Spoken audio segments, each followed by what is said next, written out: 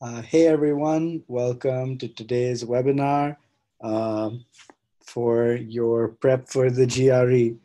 Uh, and we're essentially going to be looking at uh, some tips, some ways about thinking about the test uh, that would help you develop an approach to the GRE, regardless of the skill level that you're currently at, regardless of what your target score is. Because at the end of the day, you know, we all have uh, our own specific goals, we all have our own specific strengths and weaknesses, and we're trying to work around them to get to an ideal uh, you know result or outcome so uh, you know the advice that we're going to be discussing today maybe a little bit on the generic side but they are nonetheless important to consider when you start your prep as well as if you're in a in the last stages of your prep and you're trying to figure out how to make that final push or how to think about the test in the best possible way to boost your score um, you know, it's already 7.35, so I think we can just get started.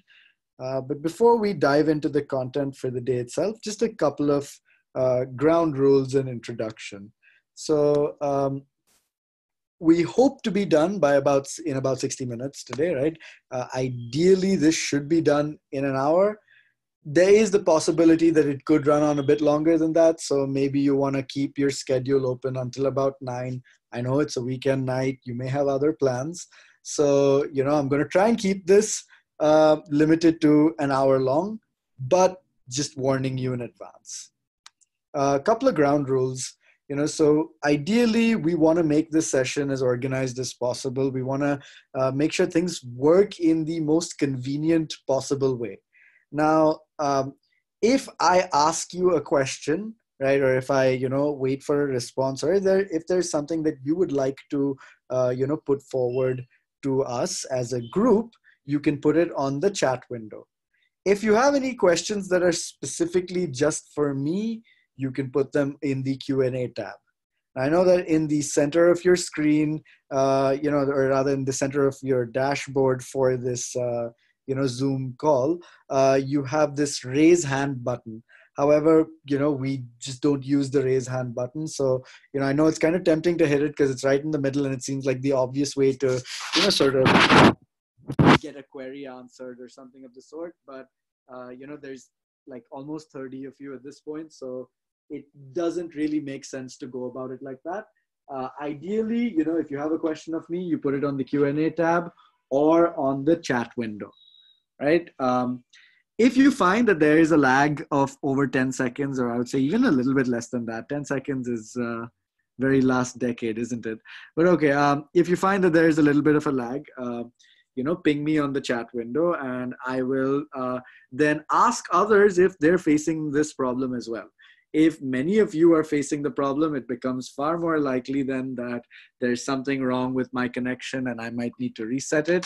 On the other hand, if you're the only one facing the problem, then it's probably something on your end and i would you know encourage you then to refresh the window or you know just close it and open it again um, you know what before we dive in let's test out your usage of the chat box just so that you know uh, everything works fine. So if you can hear me and you understood all of the, what I said until now, please type in a one on the chat box.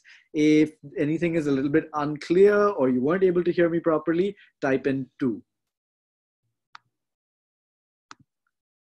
Cool. Everyone's who sent everyone who sent in some responses has sent in a one. I think almost like half of you have sent in the responses uh, now, so that's good.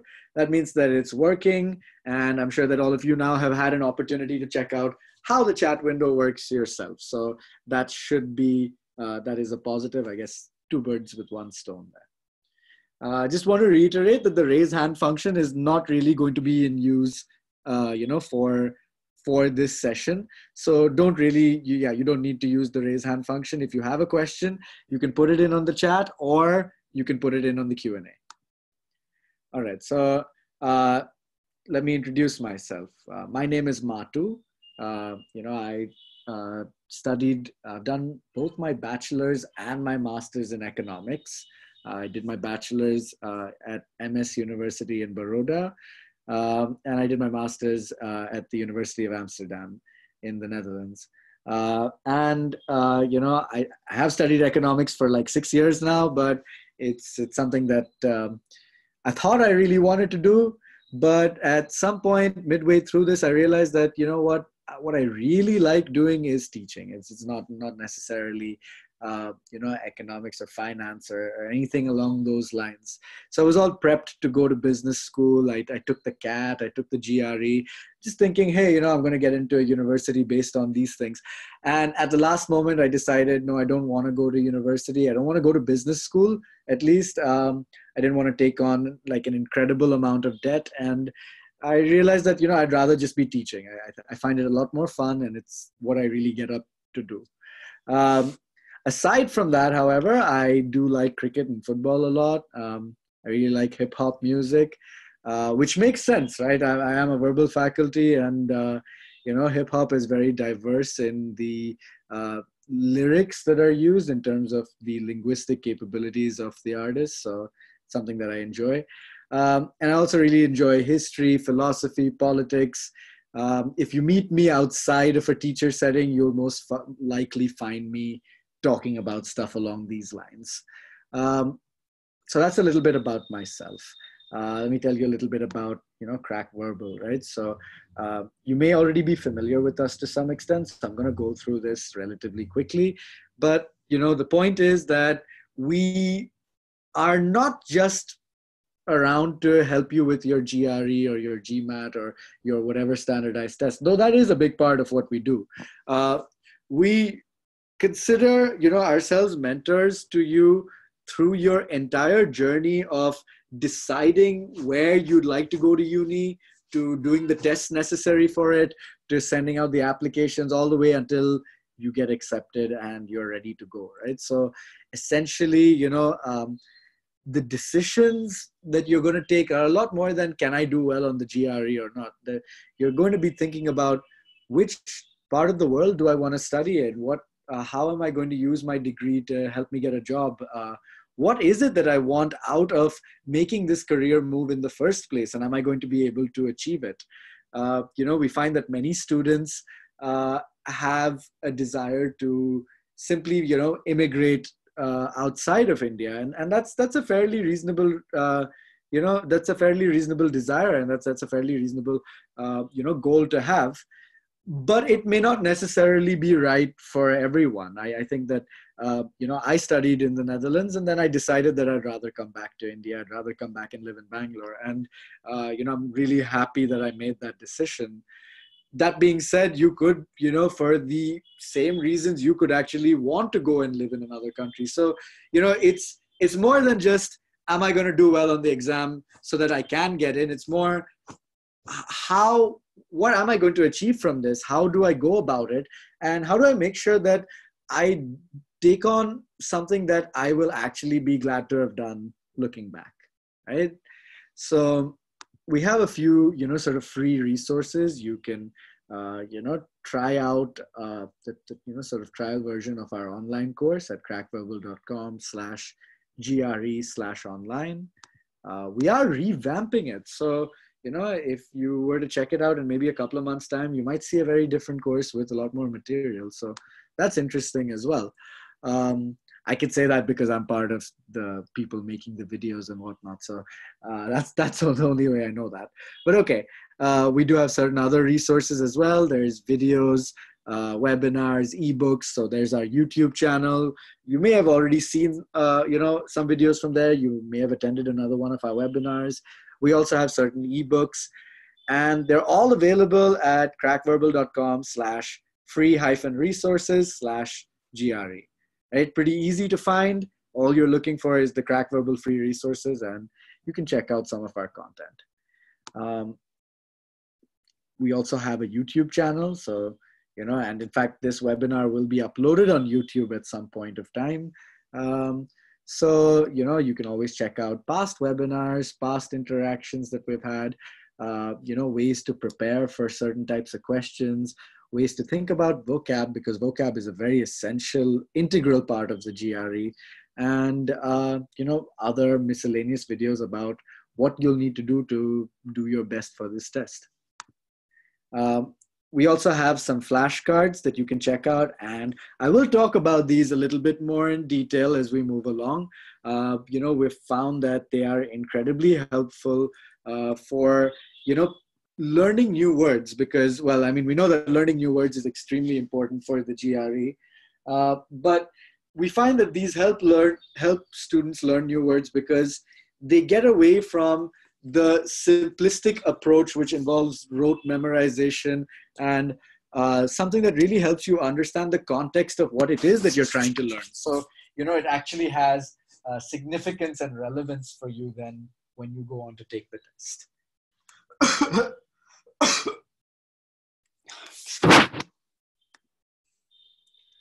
and lastly, we do have a blog as well, and we do post um, updates on it as well as you know little tips about uh,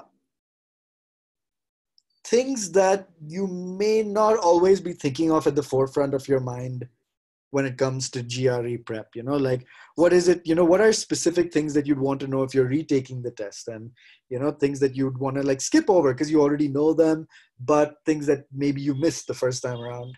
Uh, you know, how to use a calculator or rather the more pertinent question of, you know, should you even use the calculator? You get the GRE gives you a calculator, but is it a good idea to go for it or not? Um, and even, you know, what test do you plan to take and why you want to do that test? What do you want to achieve from that test? But all right, you know, enough about the introduction. Let's just dive straight into the actual content for today. So I said at the start that we would be discussing sort of 10 major ideas for how to build a study plan, for how to, uh, you know, sort of think about approaching the test as a whole. And like I said, there are, you're all going to have certain ideas about, you know, what kind of score you're targeting, about where you're strong and where you're weak. Uh, you know, how do you get around, uh, you know, dealing with vocab because vocab is a very important part of the test. Um, you know, and in general, what is the amount of preparation and study that you need to do? Because i'm sure that you've seen um, you know people post on forums. You may have heard from friends who study you know who'll tell you hey i studied three hours a day or four hours a day. And you know i really busted my ass for a long time. And maybe at the end of that they didn't even do as well as they'd have liked. So you know there's no denying that uh, you know the the challenge of the gre is really varied and you know it, it is going to be something that you have to personalize to some extent so that you're dealing with a, a plan that works specifically for you. But in the process of making this plan there are certain things that you want to consider that are going to be pretty universal no matter who you are and uh, what your targets are what your approach is going to be. And the first one of these things is to know yourself. You have to know what your own abilities are you have to sit down and think about okay so what am i good at? What do i suck at? Um, you know what is where can i make improvements? What am i really good at but i can still probably get a lot better at? What am what do i what am i not so good at but maybe i'm going to struggle with this all the way through and it's not necessarily the right place to put in uh, effort.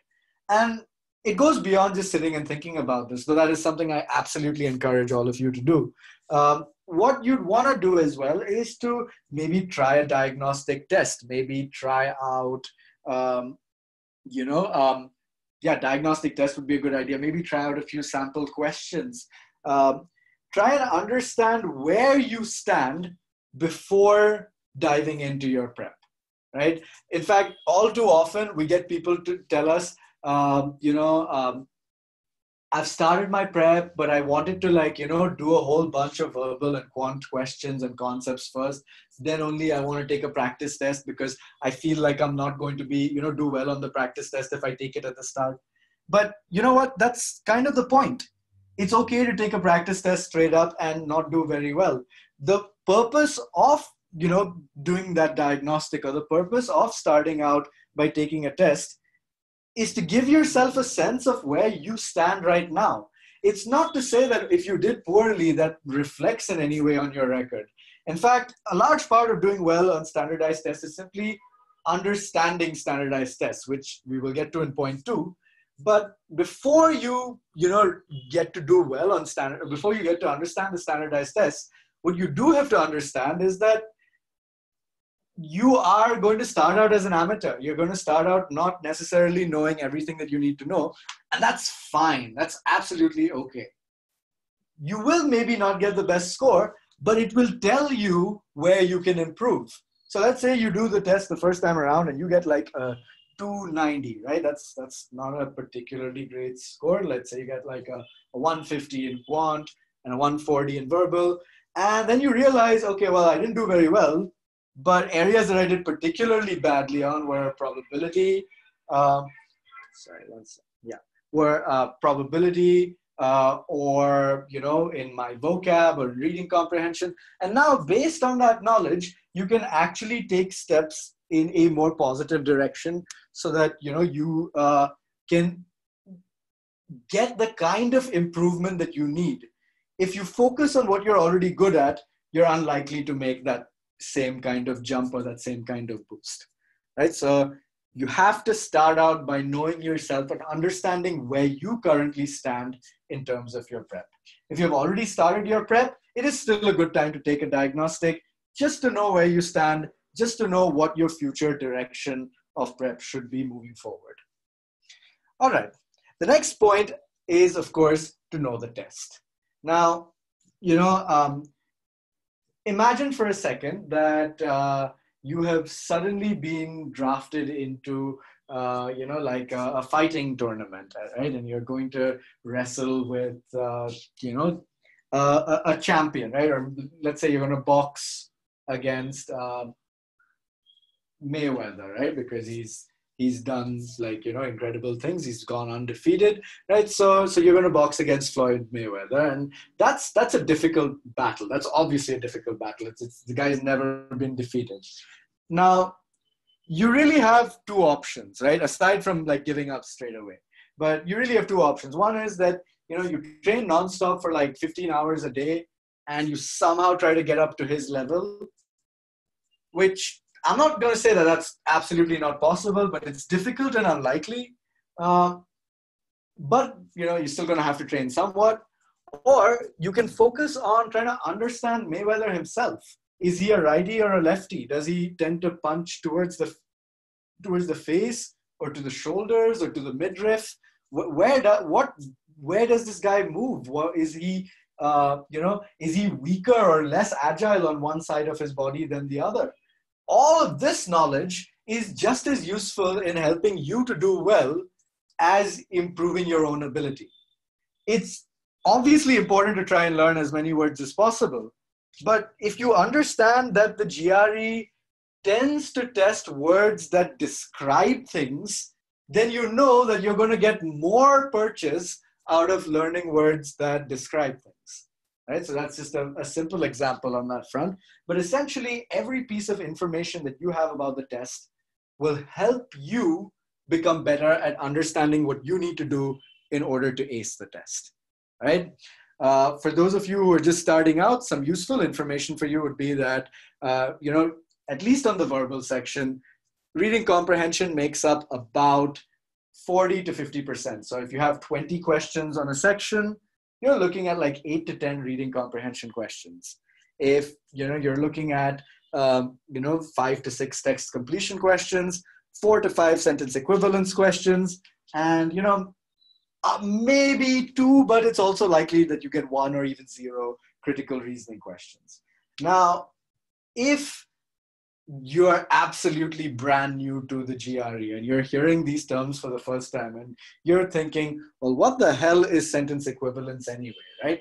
Well, now you have a question. Now you have a good place to start. You find out what these question types are. You find out what the structure and the format of the test is. You need to have clarity on every aspect of how the test is set up, right? To give you a few basic pointers, uh, you know, you have, uh, you know, each section on the GRE has 20 questions, uh, other than the essay section, but that's kind of irrelevant to your, uh, to, you know, the overall score that you're going to get.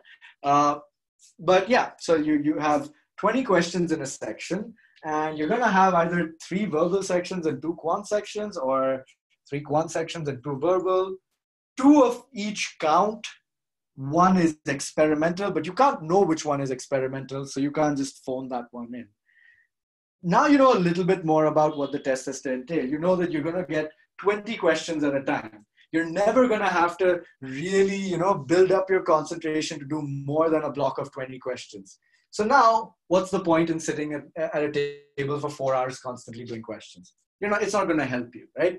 So understanding what the test is set up as is going to help you figure out what you need to do in building a plan towards, you know, doing as best as you can.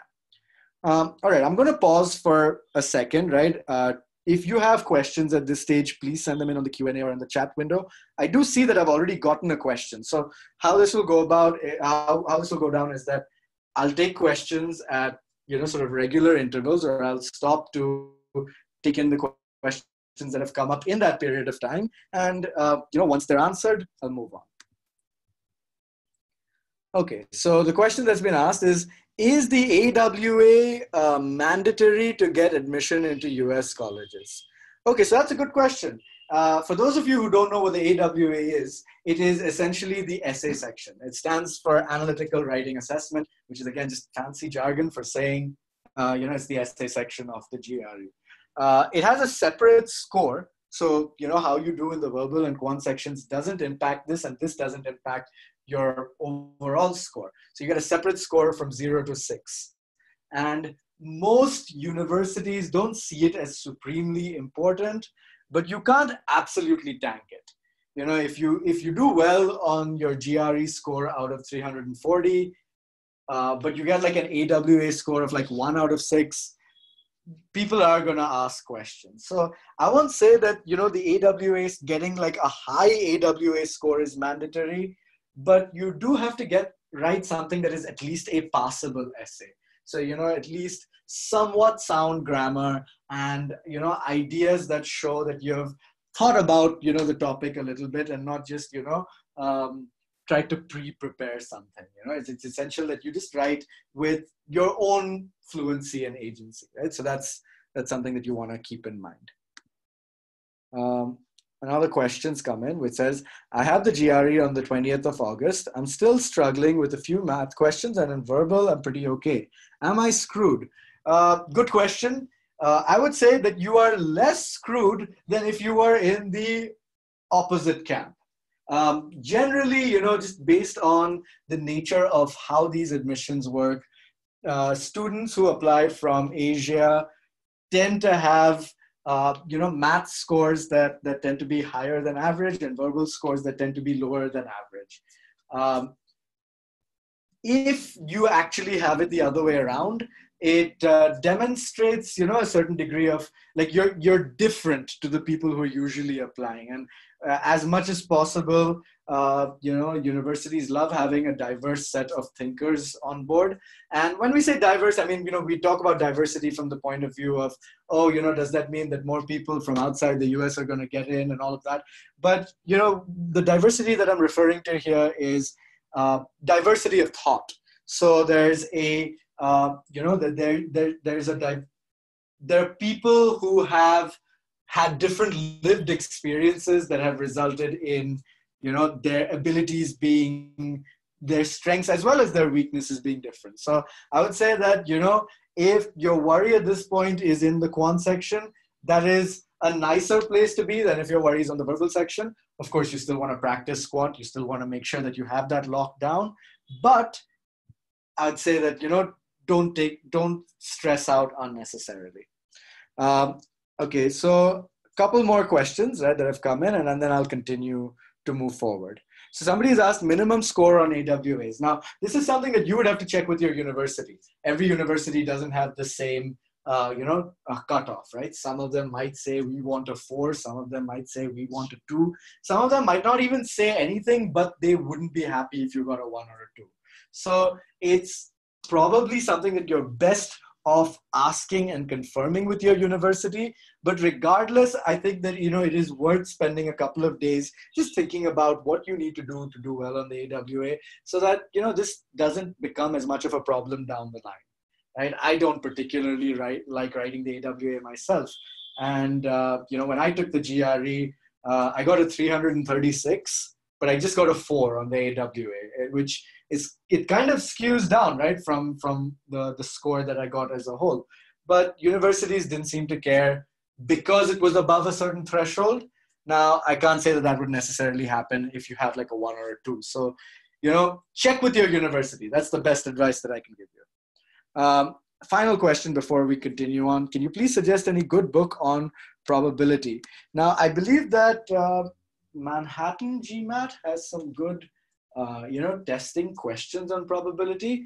But if I'm being very honest, I am not the best person to ask this question, right? This is my suggestion, but this is my suggestion as somebody who is almost on the same level as you. You know, I, I would be a student or, you know, somewhere about there when it comes to, uh, you know, the quant section of the GRE. My expertise is certainly, you know, far more uh, tweaked towards the verbal side. However, check out MGMAT. I think they have some pretty good questions at least, and, and that's a good test. All right, let's move on. So now we spoke about knowing yourself and knowing the test. Now, and, and, and it, is, it was heavily implied that knowing yourself and knowing the test lead to some benefit. You're not just doing it for the sake of doing it. You're not just doing it for some kind of philosophical introspection. You uh, you're trying to use that knowledge to help you achieve some kind of goal right? And and what so what are you trying to really do with it? You're trying to gain this information so that you learn about every possible hack every possible exploit every possible sort of trick in the book that you can use to help boost your score.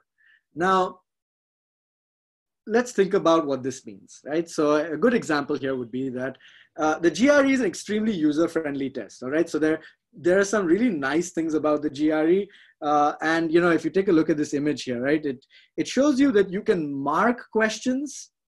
You can mark questions that you have answered. You can mark questions that you have not answered. You can choose to skip a question and then come back to it later, so long as you have time in that section.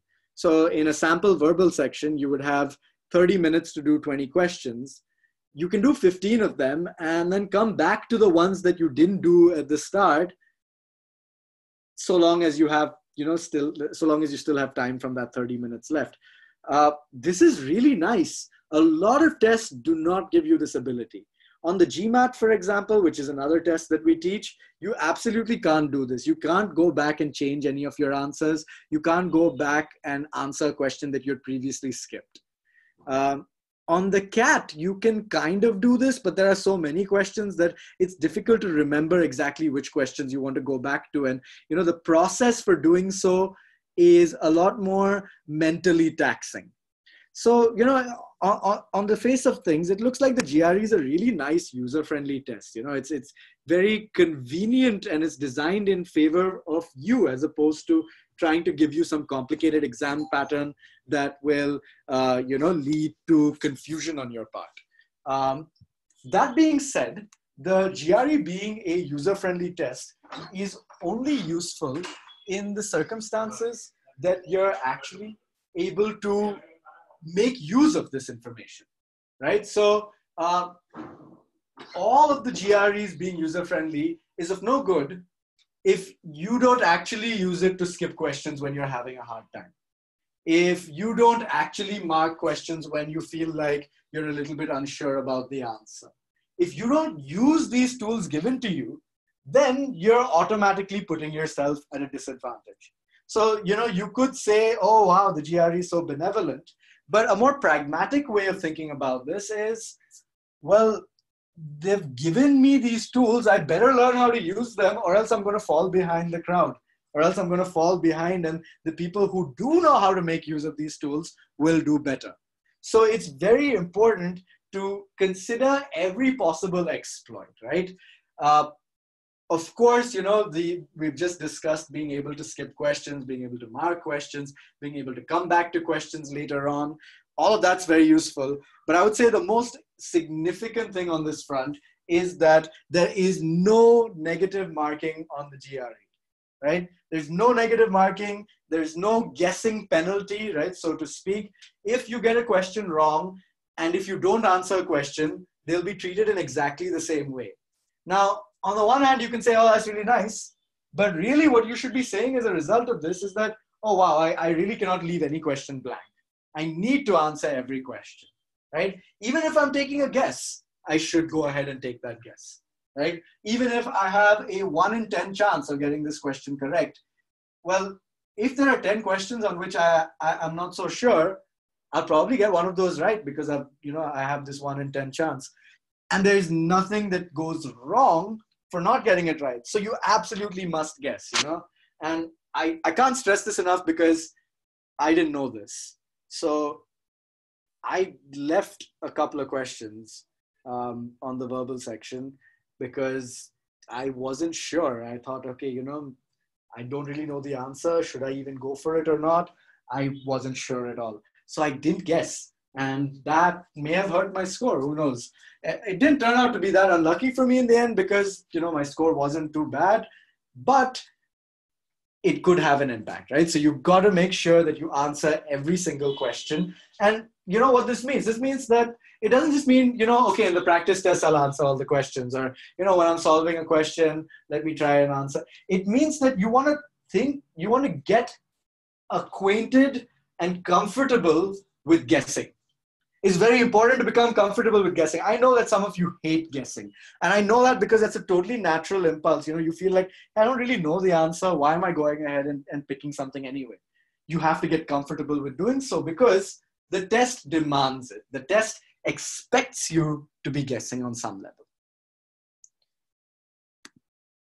All right. Now, the next thing that you have to think about when it comes to you know building a study plan is that you need to have a proper time management strategy in place. One of the most difficult things about the GRE is making sure that you can actually finish the 20 questions in 30 minutes or in 35 minutes you know if we're talking about the quant sections right? That and it's something that may not always be super easy to do.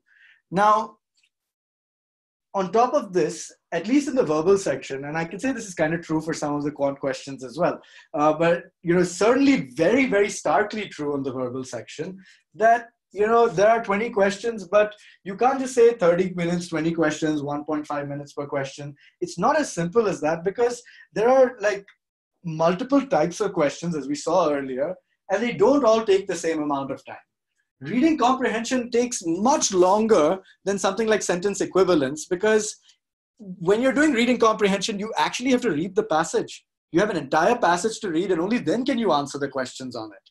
So that means that you can't say, okay, that's going to take me 1.5 minutes as well, because it's very difficult to do it in that amount of time. Uh, something like sentence equivalence, you're literally just reading a sentence which has one blank, and you're thinking about two words that can fit that blank. Now, I'm not saying it's easy, it's very difficult, especially because of the kinds of words that you get. But this should not really be taking you more than a minute, right? And you need to do it that quickly, or else you won't have time to solve reading comprehension questions. In the same way, right, the kinds of questions that require a numerical response on the quant front are obviously going to take you a little bit more time than the ones that are simple uh, multiple choice questions because you actually have to come to an exact answer rather than just trying to eliminate already existing bad answers. So ultimately, you want to make sure that uh, you know you have a strategy that incorporates being able to manage time effectively. Now, how do you do this, right? Ideally, sentence equivalence and text completion should take you about 10 minutes, so about one minute per question there. And RC and CR questions, of which again they're about half half the test, should take you about two minutes per question or 20 minutes. Now, what this means is that, again, when you're practicing on a day to day basis, you have to become familiar with answering questions in this pattern. There's no point in doing an RC passage as preparation and just sitting and solving the passage without a timer. because the process of solving a passage with a timer and without a timer are two totally different things. And if you solve a passage without a timer, you're training yourself to solve a passage without a timer. That's not what you need to be training yourself to do. Know the test and use the knowledge of the test to beat the test. The test expects you to be able to solve questions at a certain speed. You need to do your practice at that speed as well. So always set yourself timers. If you're going to do, say, three RC passages and they come up to like eight questions, set yourself a 16 minute timer and then dive in, right? That's how you got to do your prep on a day to day basis as well. All right, I'm going to take some more questions because I see a few more have come in now. So the first one says, I'm doing well in practicing questions in both quant and verbal, but when I'm writing a mock test, I'm unable to manage my time during verbal. That's not really a question. But I guess the thing that you want to think about then is that maybe when you were doing your preparation, you weren't really putting timers. And you need to put timers always. If there's no point in being able to solve a question if you cannot solve it at the speed that the GRE expects you to solve it at. Right? So that's something that you want to keep in mind. Um, can you please tell the best way to prepare for the GRE for both quant and verbal? that's kind of what we're discussing right now it's the the approach that you need to take the way that you have to think about the test in order to make sure that you have the right strategy in place ultimately i could tell you study x amount of hours but that's certainly going to be false for some of you and, uh, because it's too few and false for some of you because it's too many rather than trying to come to do x do y do z do a you really want to have a sense of well what is it that i want to get my head around right? So if we had to boil what we've discussed so far into a couple of tips, it would be that you have to practice questions with a timer, right? And you have to have uh, you have to practice questions with a view towards guessing. You have to practice questions with a view towards expecting to almost guess at some stage if you feel like you don't that you're not going to get to the answer. You have to become comfortable answering questions in the manner that you would on testing. Uh, another question that has come in says, I am uh, planning to take, um, I'm planning to take the GRE in September. Where should I exactly start in preparing verbal? I don't know much vocabulary yet. How can I prepare smart in learning the verbal section to score more? So I would say that to start with, you do need to, uh, you know, start with a cohesive plan for your vocab, and we will discuss vocab uh, you know, in a couple of minutes, right, moving forward.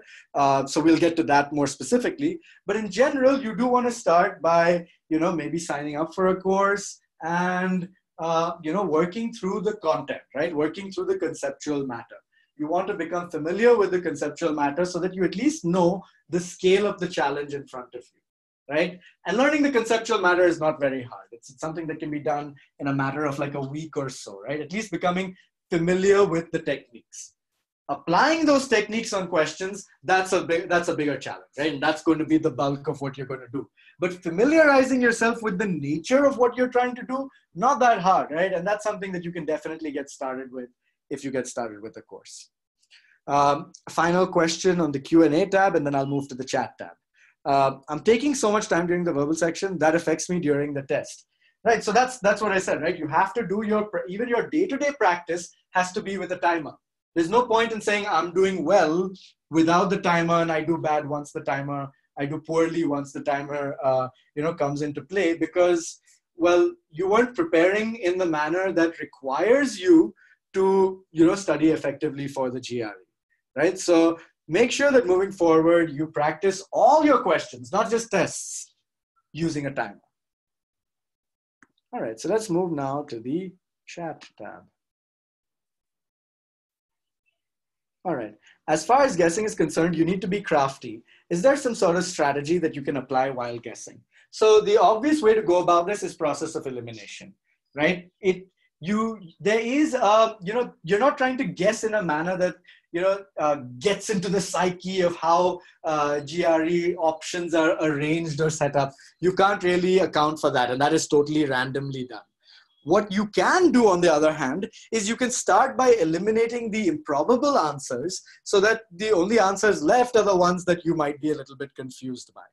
Remember that every answer you eliminate, every wrong answer that you eliminate, increases your probability by a more significant amount than the previous, eliminating the previous answer did, right? Like if you have five options, that's a 20% chance of getting it right. Uh, you eliminate one, it goes up to 25.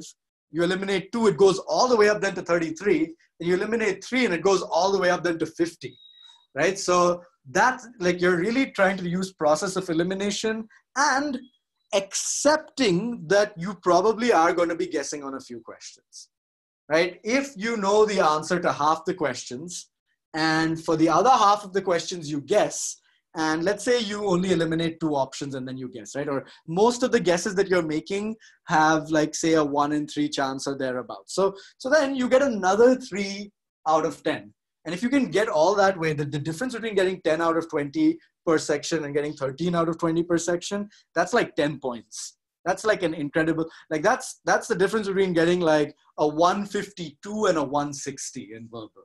That's like the difference between getting like a 155 and a 163 in quant, you know, so eight points or so, not 10. But that's a huge jump. That's an incredible jump that you can gain by guessing. So it's about being comfortable with large, the law of large numbers you may not get this one question that you've guessed correct, but you are going to guess more than one question on the test. And if you trust that you keep guessing, you will get some of those guesses right. Um, could you please suggest the books that you used for verbal? If I'm being very honest with you, I was an incredibly lazy student and I did not really prepare very much for the GRE. That that I know that sounds like terrible advice, but but to be very honest, you know, I didn't get too far. I, I looked up the concepts, right? I looked up, you know, what were the types of questions and you know how how I'd be tested on them. Uh, and I did have I, I have you know done things in the past to help improve my vocab, and we will discuss that down the line. So I guess that's really you know useful books will come up along those lines. But really, you know, what, what I would say is this that the ultimately the concepts behind answering questions on the GRE are not the hardest ones in the world. You know, it's it's it's a matter of learning to apply them to questions that are a bit more challenging. And that's really the part that's harder. So I would say that above all else, what you want to do is practice questions. What you want to do is, uh, you know, analyze the question that you practiced to understand where you were going wrong and what you want to change there. Um, all right. I gave the ETS official sample paper and I want to know how similar it is to the actual test. In terms of format and even difficulty to some extent, they're very, very similar. But I would say that on the whole, uh, mock tests are not the best predictors of your actual score. So, you know, I won't say, I won't jump in and say immediately that, hey, that's what you're probably going to get on the actual test as well. Maybe a plus minus five is a good idea, you know, to, to, to tack onto that there are also other factors that play into this you know like taking a test and the test conditions may have a different approach to uh, have a different impact on you as opposed to taking a test uh, you know in the comfort of your own home uh, i say comfort but like as somebody with uh, borderline adhd i actually like taking the test at a test center. It, it's it's like putting on blinders you know it forces you to concentrate only on what's in front of you. So you know for me that's a benefit. But for many of you that might be harder you know that you're not in a comfortable environment you know. You might prefer to be like you know sitting on your bed right while you take a test and you may not get to do that right? So that it really is a little bit variable based on these external factors as well but in terms of difficulty the questions are very similar um, can you please suggest books we already went over that is there any count of words that's mandatory for gre verbal we will talk about this moving forward. I think it's a good question. I do want to get, get to that. Uh, I'm not confident with my answer is correct or not in RC. Okay, so essentially, you know, what, uh, what you want to do when you're practicing literally any type of question, this is not just specifically the case for RC. If you feel a little bit unconfident, right, you're going to have to look at the answers later on and you you'll find out that you got some of these questions right and some wrong, obviously. For the questions that you've gotten wrong, you want to try to understand what you did in order to get this question wrong. So you want to understand what was the thing that you did in your prep that led you to that answer and take that away so that you don't repeat that mistake. That's essentially what you're trying to get a sense of. Um, what is the average score, GRE score for a good B school? Uh, again, good, right? Uh, definition of good is, is, is, certainly subjective. But if we're talking about one of the top 50 B schools in the world, you're looking at a score of uh, anywhere from like 322 to 328 or so. Uh, but that's the people who get admitted. Generally, if you're at a 325, no university is going to not admit you because your GRE score was low. So what I mean by that is that like if you apply to Harvard with a 325 and they reject you and then you come back again the next year and you apply with a 340, they're not suddenly going to accept you. Your pro like the thing the reason that they rejected you had something else to do uh, with your profile, right? It was not not to do with your score itself. So really, you know, if you're at like a 325, no one's really to, you know, not admit you for that reason, right? let's move on a bit because you know we are uh, starting to run down on time and we're you know barely half of the way through all right so um, approach questions with a view to eliminate and guess when you get as far as possible. We kind of touched upon this already right? We've we you know a lot of these things you start to see how they're linked to each other and how your understanding of the test affects how you take the test. And that and that understanding is linked to elimination, is linked to intelligent guessing. Uh, one of the other things about you know why you should look to guess and why you should look to eliminate as well why elimination in particular is the best way to go forward is that you know you can ask why the right answer is is right and you know at least on quant you're sometimes going to get a reason right you're going to get like a, a specific set of uh, algorithmic steps that would lead you to one specific correct answer. But on the verbal section, this is often not the case. Uh, you know, you might have to fill in, you know, is this word right for the blank? And the thing is, you can't say what objectively the best two words for any given blank are, or what is the best word to fit into any situation. You just can't, right? Um, there is no such thing. So why is whichever word that was the correct answer, why was it correct? It was correct only because the other words were wrong. So rather than trying to look for one right answer, you're trying to look for four or six or whatever many number of wrong answers, right? You don't want to just look for the right answer. In fact, that's the wrong way to go about it. You want to start by identifying answers that are very obviously wrong and then identify answers that are more subtly wrong. And then you can maybe get to what the answer is. This is a much more effective technique because of you know, because of what we just discussed, as well as because, you know, there's no negative marking. The, GMA, the GRE expects you to guess because if there's no guessing penalty, then it means that they're, assume, that they're assuming that you're going to guess when you don't know the answer and that you might get a question or two right just by guessing. So you're expected to guess somewhat, right?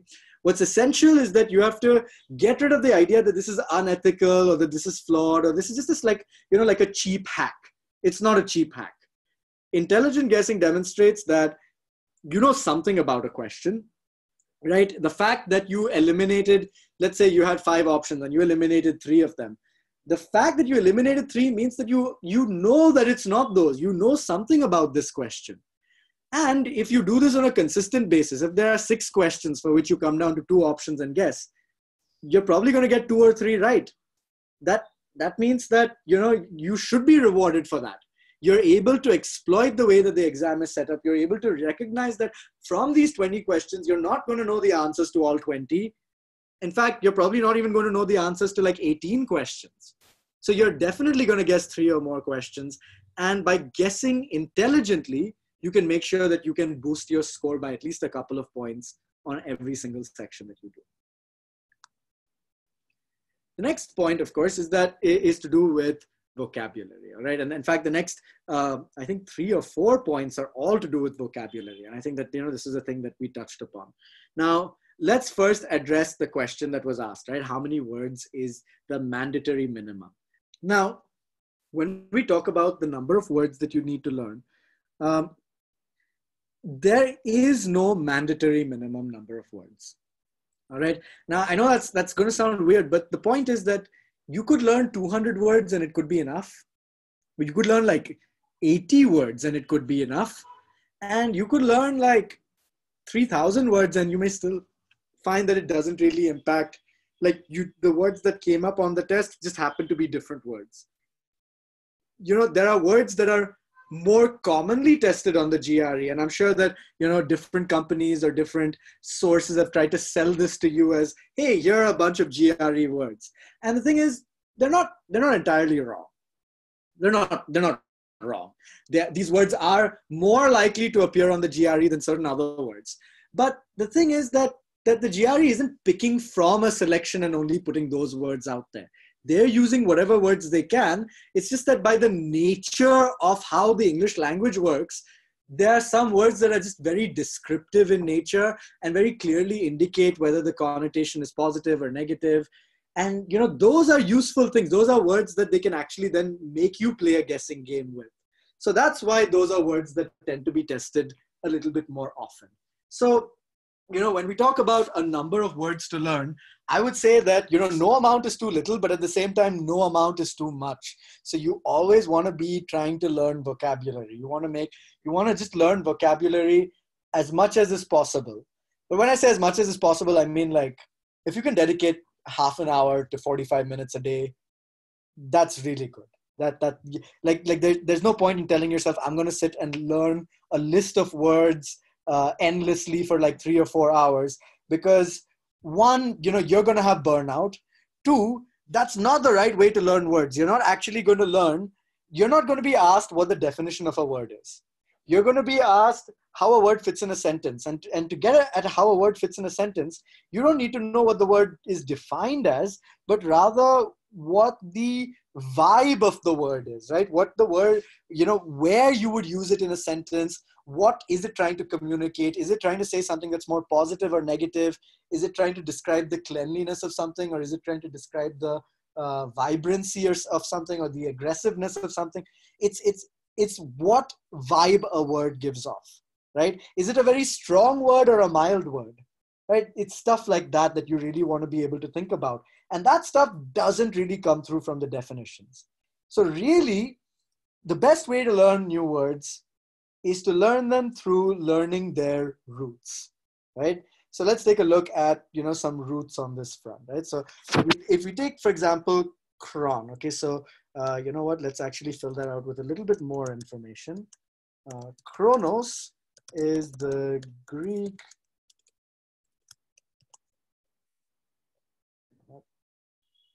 that's automatically like mildly political. Uh, you know what? I will go with my conscience and not capitalize the word God. But okay, let's say Chronos is the Greek god of time. Okay, so because of this origin, we now in English have words that have chron in it, C H R O N, tend to be words that have something to do with time. When we talk about something that happens chronologically, it's the order, the order across the dimension of time in which things happen, right? It's telling you what happened first, what happened next, what happened next, and so on. When we talk about diseases being chronic, it means that these are diseases that have affected you for a long period of time. They're diseases or they are, uh, you know, afflictions that you have over a period. It's not something that you suddenly fell sick with. Um, to use a less, you know, sort of PG example, uh, you know, there's a, a pop, a strain of marijuana that is uh, popularized in a lot of hip hop music called the chronic. And the chronic is a, is, is a strain of marijuana that's called so because its effects last for a very long time. So you know you could you could see examples of this root everywhere. When we chronicle something we record the process by which something happened. We record how something happened across a period of time.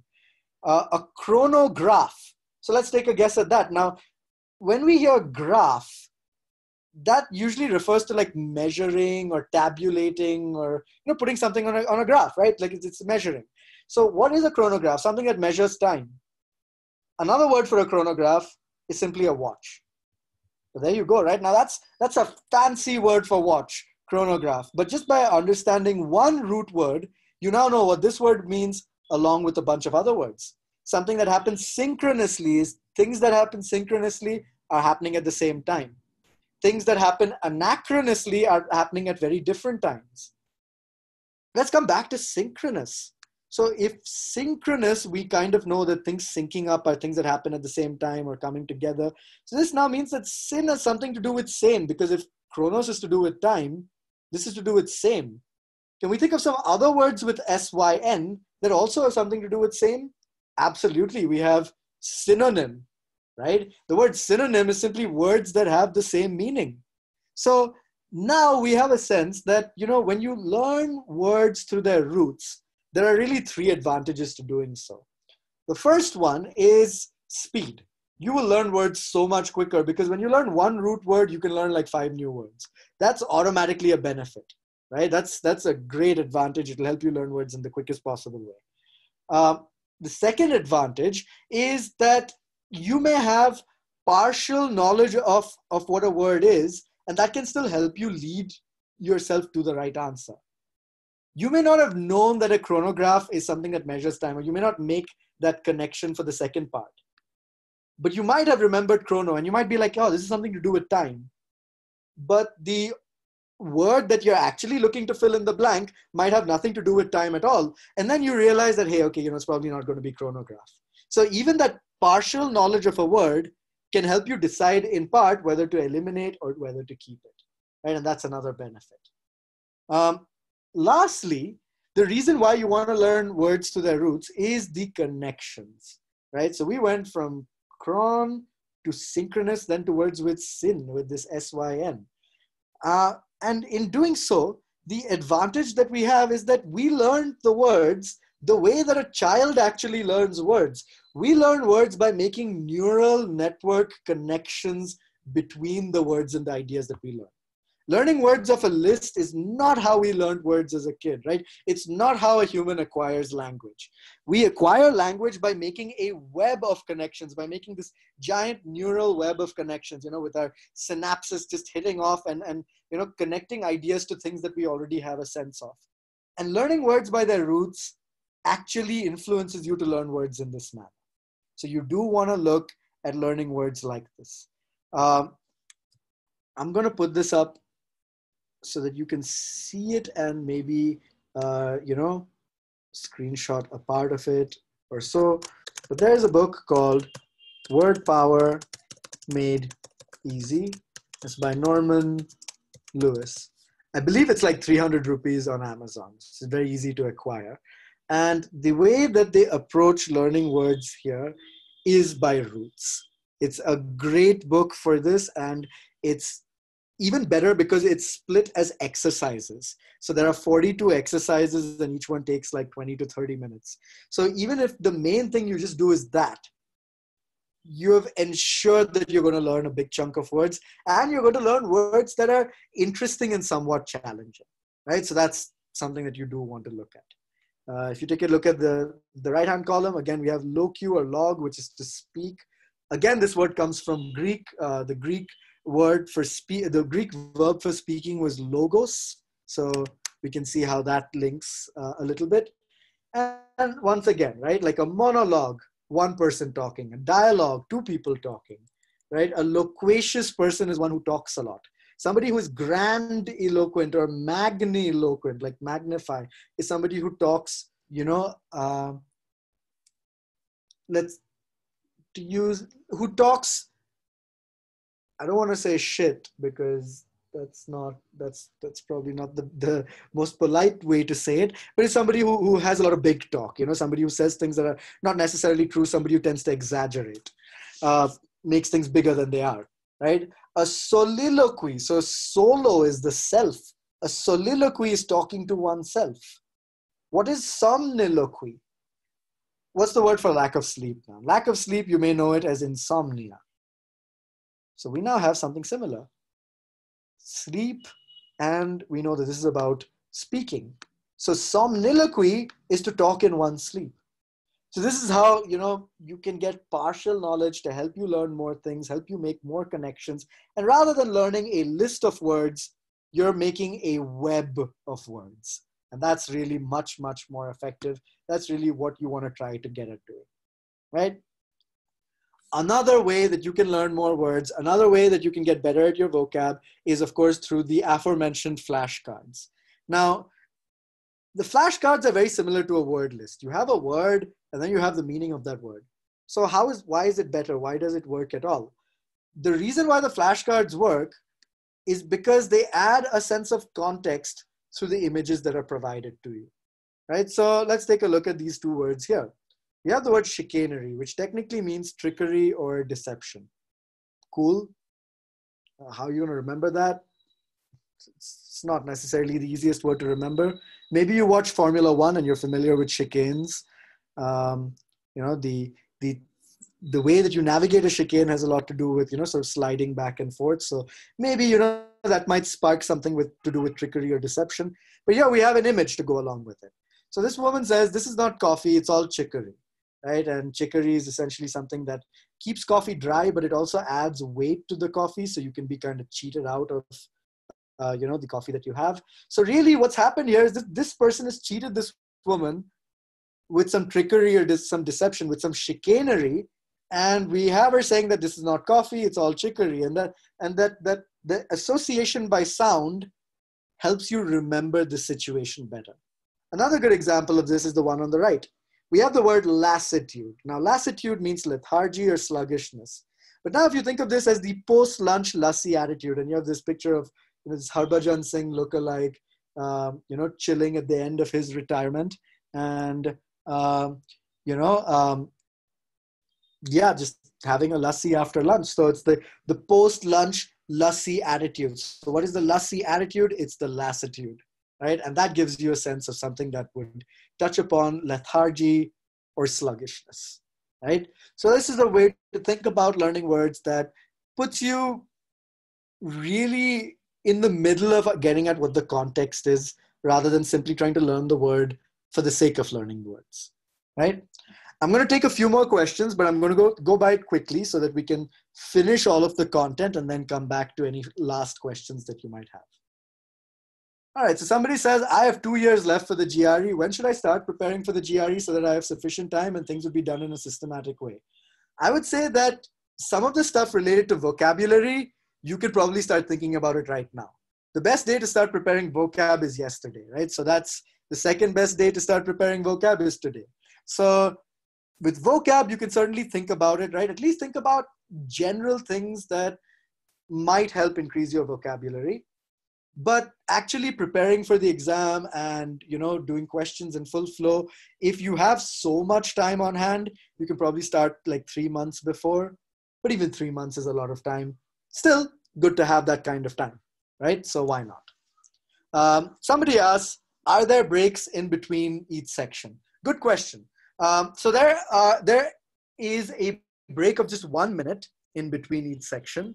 Um, but at the midway point, so once you're done with three out of the six total parts of the exam, the essay plus two sections, um, so for a total of three, you get a 10 minute break, right? So that's a good opportunity for you to like actually sort of really reset your mind maybe even like step out of the room go to the bathroom just walk around a little bit you know if you're the kind of person who likes to do that um, that's a good point to do that otherwise there's just a minute break Something else that you can do, um, I wouldn't outright recommend this unless you're very comfortable with doing it, is that if you take the section that you're better at, right? So let's assume that that's quant, right? Because most for most students it is quant.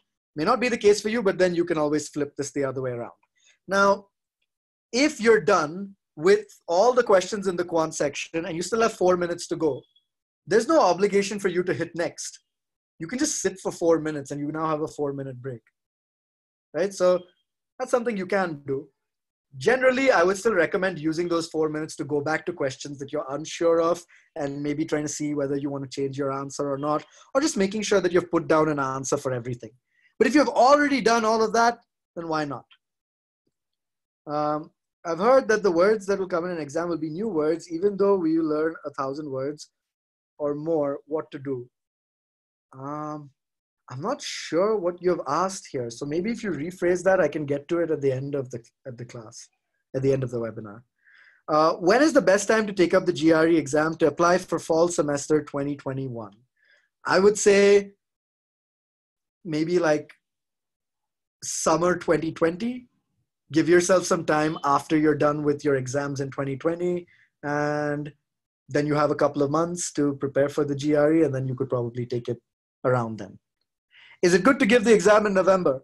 It is it honestly doesn't matter, right? I took the exam in November, so if you think that gives you good luck, maybe go for it.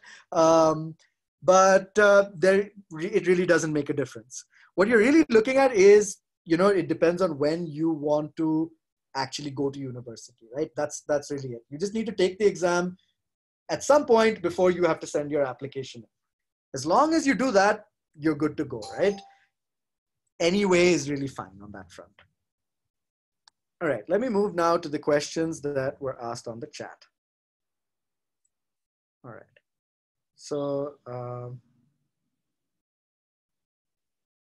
will we be getting a copy of this PowerPoint? You'll not be getting a copy of the PowerPoint, but the, the presentation will be made available to you, uh, you know, on a YouTube video, right? How many hours to prepare per day and how many days per week? I'm also a bit lazy. We will answer this question right at the end. The good news for you just so that you have some good news for now is that you know i'm not going to tell you to prepare like four hours a day or something like that right? Honestly anything over two hours a day i feel is overkill right? So we can even cap it at that point. Uh, i have two years left for the gre okay you've already asked this question. Somebody tells me that kronos is not a god he's a titan. You know what? I think you're actually right. Um, i used to have some knowledge of greek mythology but but i think you're right on this. I think that you know of course we can we can have our discussion on the distinction right between gods and titans but i will bow to your knowledge on that. Yes so so there i think you know all of you have learned something now right? Uh, kronos is actually a titan. All right. Language always goes through transitions and if we have a look at the gre vocab words of 1950s and the ones that are in vogue now there would be a colossal difference. That's a very good point. I do like that uh, so it's quite challenging for a student to rely on the well-professed jargon available on the market now I won't say that, okay, so I don't see a question here, but I do have something to say regarding this, right? That um, this is true, things do change, but they don't change so quickly that, uh, you know, that what was used at the start of this decade is suddenly going to be totally out of fashion right? Yes, it's changed a lot since the 1950s, but things haven't changed a lot since, say, 2010. So don't worry about it too much. The language that you grew up with, or the language that you may have seen in academic papers or in highbrow writing around, you know, on the internet, eh, is, has mostly largely remained fairly similar. So it's something that you shouldn't worry about too much. Uh, you know, to add to that as well, the people who are in charge of the GRE are mostly old white men, and they really don't want to change this very much. So they only change begrudgingly. So don't worry about that too much, right? I want to learn GRE words. Could you please suggest websites or apps? Uh, the book that I've suggested is probably the best way to go about it. Um, you know, we also have words that we have on our website, and you can get access to our flashcards, which, as you've seen, work in the way that they do. So those are sources that you can check out. Um, you know, due to internet connection, I add with the seminar now. Can you share the slides? We do not share the slides, but you can get access to the entire video, uh, you know, on YouTube once it's uploaded. What is the role of work experience in one's profile? What does, does it make a profile strong? It does up to a point, but that is that's actually a very general question and it is vastly dependent on the program that you're applying to and the university that you're applying to. So I would really recommend that you check this up with the universities that you're trying to apply to, right? Uh, how many words do we need for the GRE? Once again, I said there's no fixed amount of words, but you know, I'd say that for your own peace of mind, if you can do like a thousand, that should you should feel pretty good about that, right? But you know you can't stop at a thousand right? That's that's why i don't like setting a, a, a, you know a number. Because doing less than that number is not inherently a bad thing and even doing more than that number doesn't necessarily guarantee you uh, you know a benefit to your score. So that's why you know don't think about it as a fixed number right? Are these flashcards available? So there's a selection of them available uh, you know um, on our website for free. You can even buy the entire set of flashcards and i don't think it's very expensive uh, but I'm not sure how you buy it again. Can I attempt any section at any time, or is it at a particular order so that when one section gets over, the next one gets unlocked? It is the latter. you are given the order of sections. However, uh, the questions within a section, you can choose how what order you want to attempt. How many hours can I give per day if I have a month to go? Well, the number of hours you can give per day is the number of hours you can give per day, right? Depending on what your target is, depending on you know what what you're looking to aim at, one hour a day may be enough, and three hours may not be enough. But like I said, I would not recommend studying more than two hours a day, even if you're you know coming to the last month of your prep. When is the best time to take it for a fall 2020 admit? So for uh, for fall 2020, as long as you take it anytime before November or December, it should be fine. There's no difference if you take it in september you take it in november. What would what you really want to look at is what would work for you based on uh, when you're free. Can you share a 30 days study plan or something like that that we can follow? So i will discuss the generic points of a study plan but the amount of time dedicated to like one topic or one question is has to be something that is based on your ability However, yes, uh, uh, the generic sense of what you want to do, that we will touch upon.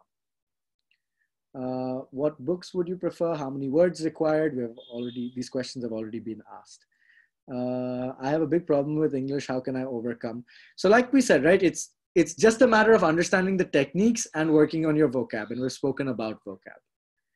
Uh, I'm planning to take the GRE in September, but I haven't started preparation. Is it too late? Uh, it's not too late. But if you can wait till maybe the end of September or the start of October, that that would probably be better. Unless you have a pressing reason, with, which means that you have to take it at the start of September, maybe giving yourself a couple of months is a good idea. Um, only GRE marks are not considered during selection, even the profile matters. How do we build up the resume? That's kind of outside the scope of this discussion, but essentially, you know, uh, what I would say is the most generic piece of advice on this is that, you know, pick things that you're passionate about and do them. Do them a lot. Uh, many words have different shades like Google, which was a noun in the beginning, but it has shown a transition to a verb. So when you see many words in the GRE with that aspect, how do you deal with that? Um, there are verbs that have uh, sorry words that have kind of changed in the manner that they've been used in in the last 15 years are not words that will be tested very often on the GRE. So don't worry too much about that. It's, it's an interesting question. It's, it's good to think about it, you know, from the point of view of vocab in general, but I would say don't worry about it for the GRE itself. Is it possible to revisit past sections after one has moved on to the next section? No. You can only move around within a section. Once you're done with the section, you're kind of locked into that. Um, is there a pattern in the increase in score from the first diagnostic mock test to the main exam? That would be totally dependent on your um, on the effort that you put in, on the the application that you put in, and how you approach the test. I would say that generally, yes, from the start of your prep to where you end, you will see some some gains simply because you're better at thinking about the test. But that is something that's really much more in your hands than something for me to say. Uh, we've already talked about the books, right? That ultimately, you know, um, a book is not necessarily the best source, right? The one book that we can talk about, of course, is Word Power Made Easy, and that's a good book for vocabulary.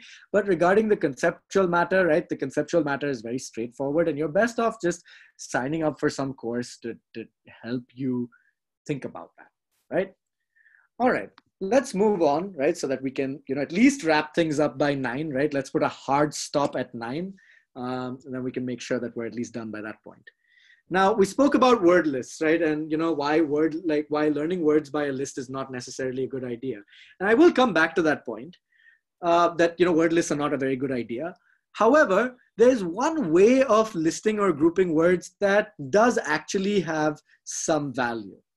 And uh, what that is is to group words based on, say, the intensity of meaning or the connotation that they have. Uh, one example could be that a um, that a crevice is uh, narrower than a gorge, which is narrower than a canyon, which is narrower than a va- valley, right? And they're all kind, they kind of mean the same thing, you know, it's like elevated regions in between which there's water that flows. Kind of the same idea, but like one refers to something that's much more narrow. A crevice is much more narrow. A gorge is wider. A canyon is wider still.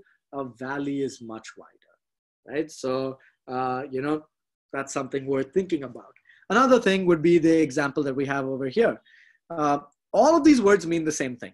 So to be profligate, to be prodigal, to be extravagant, to be spendthrift, and to be unstinting all mean to spend a lot of money. But the connotation is different.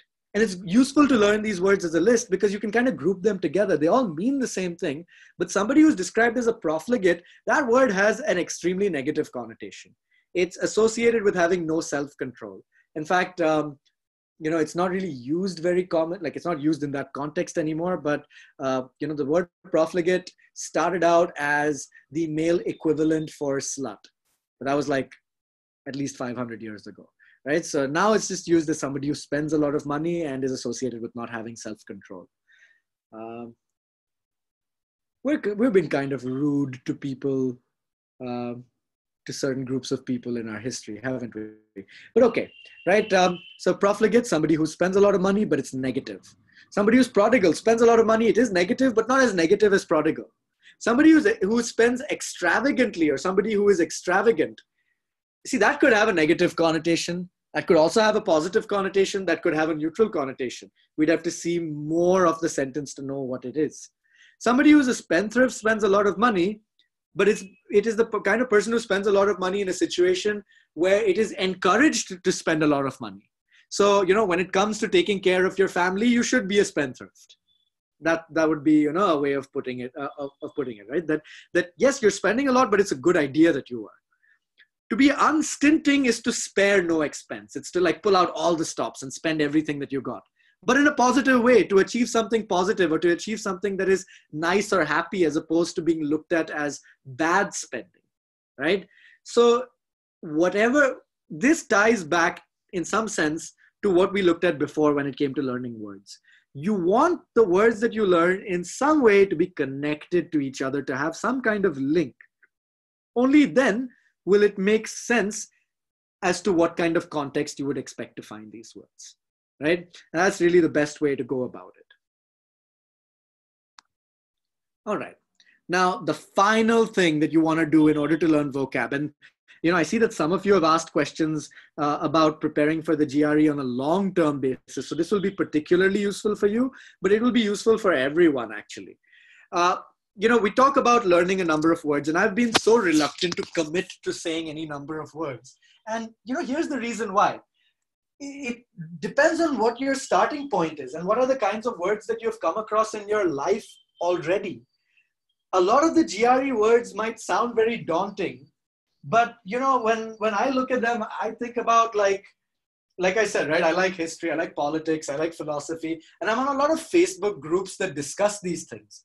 And the kind of words that get tested as GRE words, I see a bunch of them being thrown around in casual discussions of people having Facebook arguments. Like people have Facebook arguments with those words. So I'm lucky. I get exposed to that kind of vocab automatically. That, that's something that worked out well for me. So, but the point that I'm trying to make here is that your environment contributes to what kind of words you end up knowing. And the deeper you go into any subject, the more complex the, the language used becomes, right? So the more you, you, you understand any subject, the more complicated the ideas are going to be in that subject. And the more complicated the ideas are going to be in that subject, the more they're going to require more complicated words. So you automatically start to come up with, uh, you start to, you know, come across words that are more complex and express some very specific, very unique ideas. And that's really what it is that, you know, you're looking to do. So if you have a passion, double down on it, right? Explore your passions. And even if your passion is playing video games, you know, like I've learned a lot of words from playing video games. I've learned like, uh, like you know when i was young right i'd play a role playing game and you know they talk about like agility and vitality and i'm like well i don't know what those things are and i looked them up right and you know and and of course now you know what like agility is a little bit more straightforward but you're always going to come across new words as long as you double down on the fields that you're interested in, right? Whether it's books, movies, video games, how you, the kind of music that you listen to, talking about music, sports, analyzing sports, anything that you might be passionate about, look up stuff about it, right? The biggest advantages of doing this is that when you learn words in this way, they come with context. You're not learning them as learning the definition of something. You're seeing it being actually used in a context. And the most important part is that you actually give a crap about the context. This is something that you're already interested in. So you're actually probably going to go and look it up. You're actually going to think about the manner in which this word would be used, right? and it ends up being the most effective way in which we learn words. Once again, this is the most similar to the manner in which we acquire words as children. The challenges are that this is really a, a, a subtle, uh, a passive process in a way. This is something that should be happening in the background while the more active vocab prep that you do is you know learning words through roots or you know uh, organizing words by intensity and stuff like that so, you know, it's it's something that you can't just say in 30 days I'm going to change my entire environment and I'm going to learn, you know, a buttload of words. It's not going to happen that way, right? So that's something you got to look out for. The other thing is that, you know, maybe the content that you read and watch may not be that enriching, right? There's always the possibility that that happens. But in general, if you get deep into any topic, you will start to hit content that is enriching, right? a good example of this would be, you know, I like watching TV shows. I still try to watch a lot of TV, but, uh, you know, work it gets in the way and, you know, I'm just busy with other stuff. But, you know, I watch a lot of TV and then I came across this term called a bottle episode. In fact, one of my favorite TV shows did a whole episode where they made fun of the concept of a bottle episode. And I was like, well, what the hell is a bottle episode? So I looked it up and, you know, what I learned is that it's a common practice in TV shows to like, um, you know, to like overspend early on. And then they have to have an episode that is made very cheaply so that they can get back into budgeting. And this is likened into trying to like fit those replica ships into the glass bottles. And from there, we get the term bottle episode. Now, this is not a GRE word. This is not something that's going to be tested on the GRE. But it's a word and an idea that I would have never come across if I were not interested or if I were not simply alert and interested when things that were related to what I was passionate about came up. Right. So really that's what you want to do. You want to put your take the things that you like and double down on them. Right. Um, another example on this front, you know, I know that I've given a lot of examples and taken a lot of your time, and I really appreciate all of you for staying on.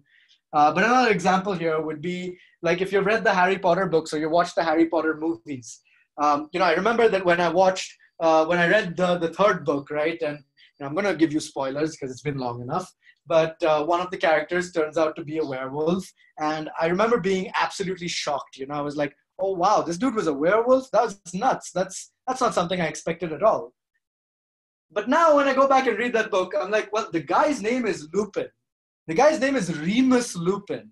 And, you know, the word lupine, just like canine is to do with dogs, lupine is to do with wolves. Um, and even the first name Remus, uh, you know, the, the mythological tale goes that the founders of the city of Rome were two brothers named Romulus and Remus. So this guy's name is Remus Lupin. Um, and, you know, Remus uh, suffers a lot of misfortune in, in the Roman mythology, and so does this person. This Remus Lupin suffers a lot of misfortune in the Harry Potter book. So it's, it's almost like all of this stuff was being foreshadowed to me and now that i have you know like a bit more awareness i'm able to see it i'm able to see how these names came about and and where they come from right so you know like um like another harry potter reference right so you say leviosa to to make something levitate right? So to make something rise up right? So you may start to notice that that you know there's an opportunity to learn words and word roots wherever you go right? They come up everywhere in the environment around you. You just have to open yourself up to it. All right. So the last thing that we want to discuss is to come up with an actual plan, right? How do we make this plan? What is the what are the factors that we have to take into consideration while uh, devising a 30-day plan? Now, the first thing is that I promised you that I wouldn't say more than two hours a day. We've already said 30 to 45 minutes for vocab, right? So now let's say that you only really have one minute 15 to one and a half hours in a day left, right? So what are we going to do in that time? The goal is not to solve questions in bulk. You're not trying to simply solve as many questions as possible and you know uh, solve all the questions out there because you will run out of questions. The goal is to solve a fixed number of questions from which you can actually do good analysis. So, what is the approach that you want to take? Really, you don't need to solve more than 20 questions a day, right? I would put a cap at 20, right? Uh, some days you can maybe do 40, right?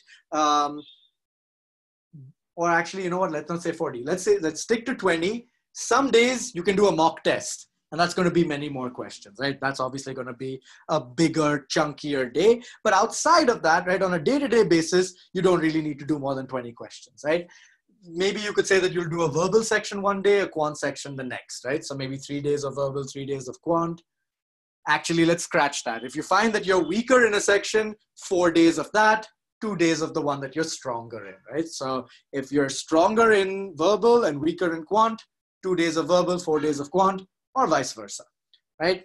But not more than 20 questions a day. Now, if you're going to solve 20 questions a day, we've already talked about this. You have to set a timer, right? You have to know that you're going to take a fixed amount of time. If all those 20 questions are going to be reading comprehension, maybe set yourself 40 minutes. If all those 20 questions are going to be sentence equivalents, just set yourself 20 minutes, right? But you have to set a timer based on what you're looking to meet in terms of the actual time stipulations on the GRE, right? So you've got to get that down. Now you now the other benefit to this is that it's going to take you less time, right? You're going to be able to make sure that you do all of this in one one shot in one bunch, right? And let's say you do reading comprehension questions; those take longer than any category of question that I'm aware of. I don't think there's anything in quant that is a category that takes longer than two minutes per question. So, you know, let's call that, let's say reading comprehension, and it takes you 40 minutes. So you, you, you did questions for 40 minutes. You then look up the answers and, you know, tally what you got. Let's say that takes another 10 minutes. So that's 50, right? So what, we have now the 40 minutes to go, right? For an hour and a half. Now, from those 20 questions, let's say you got 10 right and 10 wrong, right? You didn't have the best day. You didn't have the worst day either, but you didn't have the best day and you got 10 wrong. Now, for each one of those wrong questions, you need to take a look at why that answer was wrong. Remember that uh, we spoke about this before. You're trying to eliminate answers. This means that you want to make sure that you don't understand why the right answer is right, but why each of the wrong answers are wrong. That is the clarity that you want to get to, right? You want to know why every single wrong answer. So, so if you pick A and the right answer is C, it's not enough to look at the answer key and say, okay, C is the right answer, or C is right because of this reason. No, that's not enough. You need to know why A is wrong, why B is wrong, why D is wrong, why E is wrong. You need to know that, right? And that's really what we call doing proper analysis. So maybe it took you 40 minutes to do the questions, but I guarantee you that it'll take you another 40 minutes to analyze where you went wrong. And this adds up to an hour and a half. So an hour and a half of this and 30 to 45 minutes of vocab. Okay, so maybe I cheated a bit, two hours, 15 minutes at tops. But really, you don't want to push it past that, right? Beyond this, even your brain doesn't necessarily process information as well. And think about it like this if you did 50 questions and then you try to do this analysis, you're not going to remember what you did on each one of those 50 questions. If you do just 20 questions, each question is memorable to you. Each question, when you see it and you realize that you made a mistake, you'll be like, yeah, yeah, I remember doing this question. I remember what I was confused by. I remember how I went about it. That then lets you analyze what you need to change in your approach. If you just do a large bulk of questions, you're not going to get to that place, right? So on a day-to-day basis, what is it that you're looking to do? You're really looking to do not more than 20 questions a day. You're not really looking to study more than like two hours in total. It's, you know, about 30 to 40 minutes of solving questions and then another 30 to 40 minutes of analyzing what it is that you solved. That is how you want to go about it. You can decide how many days for verbal and quant based on your strengths and weaknesses. Generally, spend more days where you're weak, right?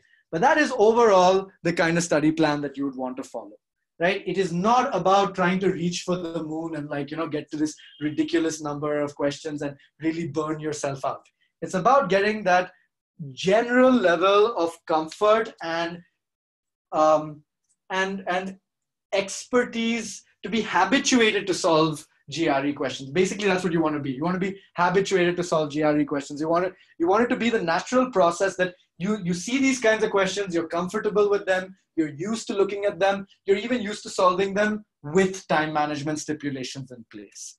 And that is the ultimate approach that you need to follow. All right.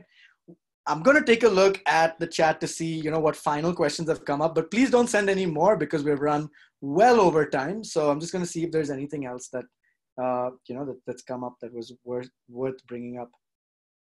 So yes, yeah, Romulus and Remus were raised by wolves. Did I not mention that? Well, that, that kind of weakened my point then. Thanks for putting that up. Yeah, Romulus and Remus were raised by wolves. And Remus Lupin then, you know, fits in as a name that matches being a wolf, right? So, so you start to see how these connections are made, uh, you know, sort of in a more straightforward fashion.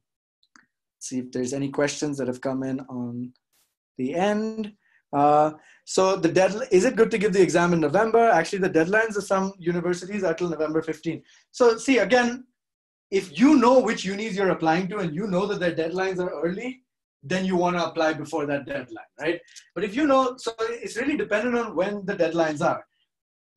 What I would say, however, is that you know some unis have early applications by, by November 15th, but it's not necessary that you send in an early application most American universities, and uh, you know certainly this is true for Canada and Europe, the admission like you have to send in your admission generally by the 31st of December for what for you know of a given year to start in the fall of the next year right? That's generally the case. With canada and europe it's even later. But um, you know do your research there right? Every university is not the same. And like we said right the more knowledge that you have going into what you're doing at the start the better a sense you will have going out right? Thank thank you all right for uh, staying for an hour and a half i appreciate all of you taking this time out of your day uh, you know to take on whatever advice that you've uh, gotten here and i hope that you all use it and do great on the gre um, just to, you know, sort of let you know, right? So we do have uh, essentially a discount on our GRE course. It says 50% off. That's, oh, that's, that's not right. That's, uh, it's, it's 40% off. My bad.